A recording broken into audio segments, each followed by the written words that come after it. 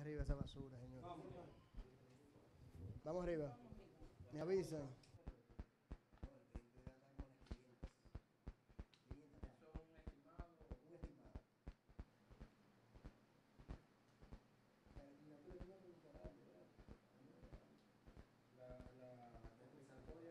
que esa mente maquiavélica, sádica, retorcida, de- descompuesta,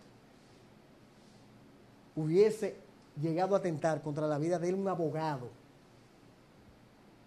Ahora, quizás si yo me hubiese transado con él y hubiese engañado a Miguelina, yo no tuviese el problema de un ojo, el problema de mi columna y de mi situación como vida.